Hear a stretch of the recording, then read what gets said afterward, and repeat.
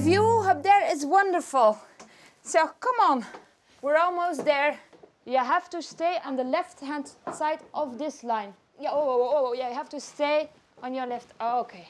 The belfry is leaning over a little bit to the west side, 34 inches.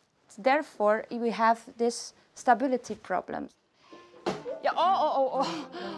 Jesus, yeah, okay. You see the other line there? If you want to go to the window, we ha always have to divide the weight equally. Hoeveel? Take two by two, then we cross over. Yeah, yeah, you have to be careful. Oh, yeah, yeah, it's okay, it's okay. It's a nice view. Thank you, thank you, thank you. Indeed, this tower is not straight, but there's no risk of falling over. Bruges has hundreds of old monuments and buildings, and they're all still there after many, many centuries. For instance, the ancient Jan van Eyck Square, the pretty facades of the old Toll House, Pinder's House, and Burghers Lodge, the medieval city walls with the Kruispoort Gate, the Donkey's Gate, uh, hello, the Blacksmith Gate, and here, the Gate of Ghent.